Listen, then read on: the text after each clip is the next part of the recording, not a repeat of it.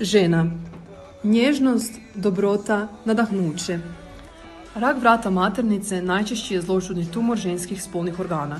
U Hrvatskoj svake godine oboljeva oko 600 žena, od toga umre njih 100. Jedan od uzročnika ove bolesti je humani papiloma virus koji se prenosi spolnim putem. U cilju prevencije preporuka struke napraviti papatest jednom godišnje.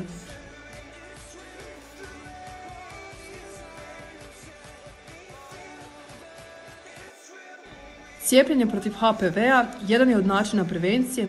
Trećeg tjedna u siječnju obilježava se dan mimoza, kao podrška oboljelim ženama.